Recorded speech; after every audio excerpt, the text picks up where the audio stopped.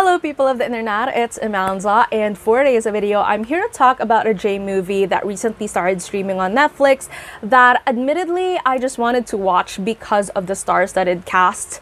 But when I watched it, I ended up loving it. It's not exactly something that's novel or with a crazy concept or anything like that, but it's definitely touching a little bit heartbreaking. I think I cried a little in some of the narr- in, in some of the subplots and anything like that. But um, I think it's a must is a it's a must watch. I highly recommend it, and that's a reason why I'm making this video. I'm talking about the parades, and these are the things that I like, and probably some of the little things that I didn't like about it that might convince you to either check it or skip it. So without further ado, let's just get to it. So before I move on to talking about the plot, let's talk about the cast first. So the core cast of this film um, includes Nagasawa Masami, Sakaguchi Kentaro, Yokohama Ryusei, Lily Franky, Terajima Shinobu, Tanaka Tetsushi, Mori Nana, even Kuroshima Yuina is here, and there's definitely a lot more of them.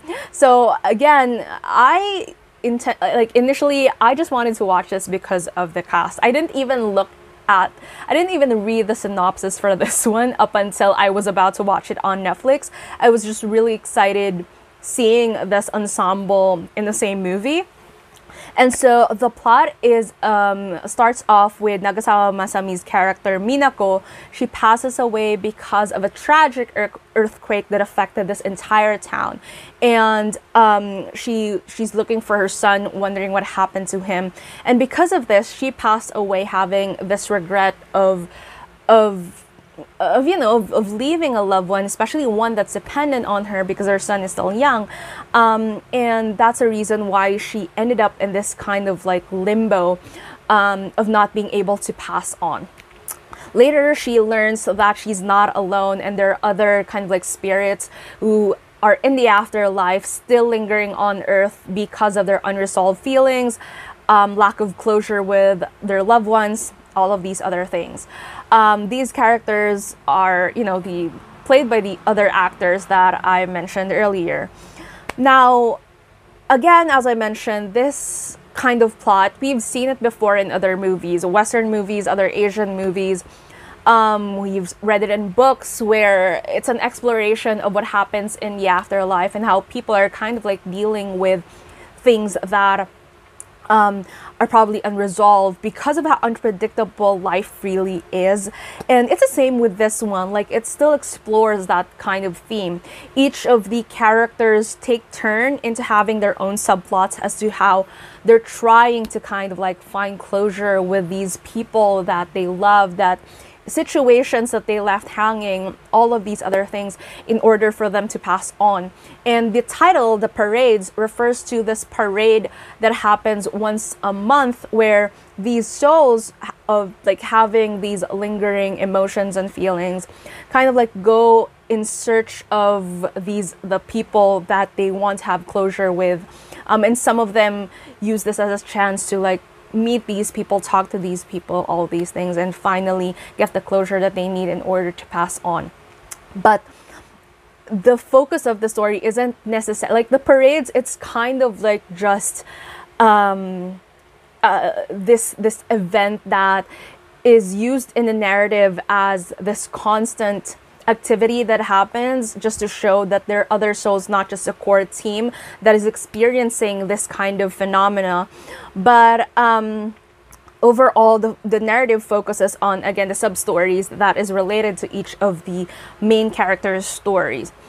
Now, I would say I wouldn't spoil the stories of the other characters as well as, you know, how it turns out, whatever. But all I can say is that it's kind of like weird to me that Nagasawa Masami's character, even if we start the narrative with her plot being a mother looking for her son and, you know, having all these regrets of of the other times where she could have been she could have spent a lot more time with him or that you know she she's leaving him behind because she passed away accidentally and all these things. For me the other stories of like the other characters um, had a lot more impact in a way because they their regrets are a lot more deep rooted into something that is i don't know like to me there's just a lot of of of grip in terms of the narratives of the other people compared to the main storyline that we should have been paying attention to in the first place, I guess.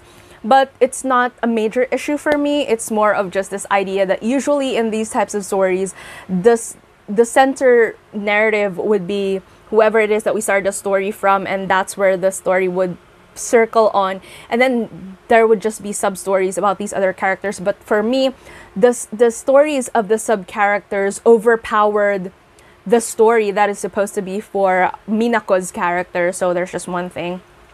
Especially the storyline of Lily Franky and the character that he played Michael. I feel like that that was kind of like the main ish really the main ish um, storyline about you know stories of, of regret of closure all these things made a lot more sense and it tied all of, almost all of the narratives together in a, in a way so that's one thing um, I think the performances are really strong. It's kind of like expected for a film with such a star-studded cast.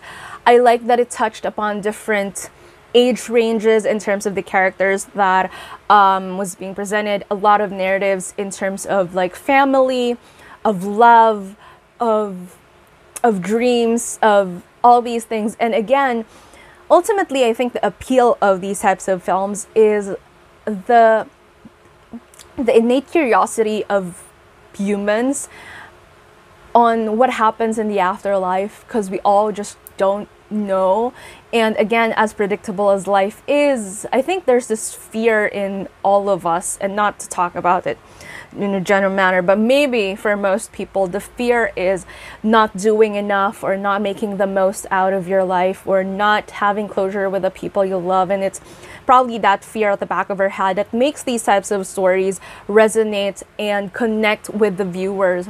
And again, as I mentioned, there's nothing really novel about this particular movie um, that we haven't seen before. There's a lot of cliche, predictable plot lines here and there. Um, and again, it taps into the idea of grief, of, of death, of all these things that is very natural to people, but at the same time, something that we probably have issues um, dealing with or connect or, or kind of like experiencing because of how difficult they really are when faced with raw emotions. Um, but I think to me, I found it really beautiful. I found myself being teary eyed in some of the narratives. Um, and it's just something that is very simple drama, like these other things. And um, again, aside from some of the arcs overpowering the main storyline, I don't really have a lot of negative things to say about it. It's it's just more of again adding into this this entire idea of humans' fear of of not living life enough to be and i think that's the main point of it is no matter how fulfilled you you you work your life around and all these things. There will always be something that you wouldn't have closure with you wouldn't have um, a final say on. And um, i think these types of films kind of like hit you with that reality or hopefulness or wishful thinking that there still is something that can be done and you shouldn't be too afraid of, of of these chances or anything like that and i don't know i mean eh, that these kinds of questions always spark human creativity these types of things that make us curious or make us feel something or something that we fear or anything like that always make for an interesting narrative because it's kind of like real and touching in a way. Um, and that's how the parades felt to me. Like it's not a completely perfect film. It's not something that's new or exciting or anything like that but it just feels like a very human film. And that's probably the reason why i absolutely loved and enjoyed it.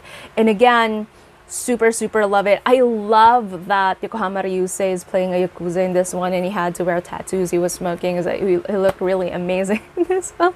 He's one of the main reasons why i ended up watching it. But i absolutely like absolutely again love the way that this film was and i highly recommend it. It's on netflix so i hope that a lot more people get to watch it. And yeah So, with that said, tell me down in the comments below what are your thoughts? Have you seen this movie? Um, any other movies that you recommend that is in any streaming platforms that you want me to check out? Please let me know. If you like this video, please give it a thumbs up. If you're new to my channel and you would want to hear more from me, please subscribe. Thank you so much for watching this video, and I hope to see you again soon in a new one. Bye!